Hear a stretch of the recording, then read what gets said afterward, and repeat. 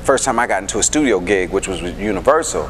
you know, that was a strange experience because now I had somebody telling me I can't use this song or I can't do this or, you know, if I wanted to move $50 from the camera department into the lighting department, I had to have go have a meeting with, you know, in a boardroom to say this is why and, and present a case as to why I need to change money from one, you know, line item to another. So it was good that I went through the independent route before I got to that studio route because you, you have to be more creative at the studio. You have to be more shrewd because they really put you in a box. And you got to figure out how to be creative in that box and at the same time get what you want and yet exist in that system.